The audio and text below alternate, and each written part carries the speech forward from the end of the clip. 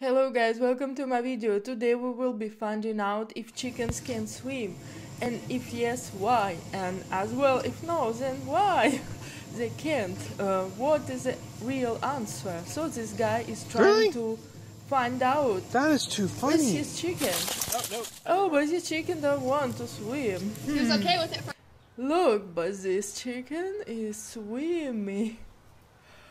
Oh, really? Maybe because it's a brown chicken. and brown chicken are can swim. No, it's not true. Actually, chickens have ability to swim, but not much because they are not producing that grease uh, that ducks produce. And when its feathers completely wet, it will sink like a stone. So please be careful if you have chickens. Don't leave them next to the swimming pool because they can swim a little bit, but they don't know actually if they can swim a lot or not because it's a chicken.